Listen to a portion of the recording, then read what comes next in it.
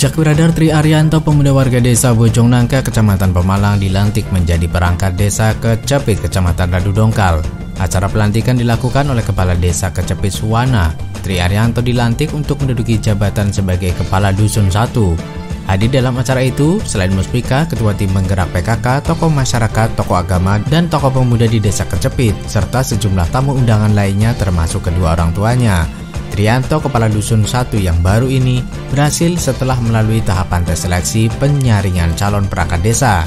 Ia mampu mengalahkan empat pesaing lainnya dengan mendapatkan nilai tertinggi mencapai 83. Empat calon kadus yang dikalahkannya saat tes seleksi penyaringan masing-masing tiga peserta calon kadus dari putra daerah dan satu peserta lainnya dari desa datar.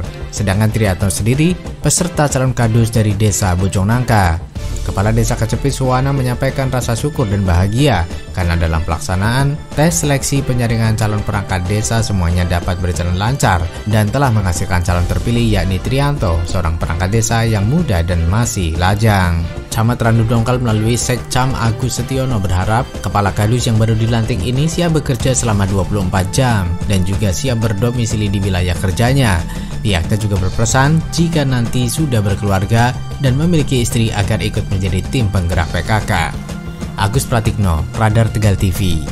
Jakwi Radar, jangan lupa subscribe channel Radar Tegal TV agar tidak ketinggalan berita terbaru.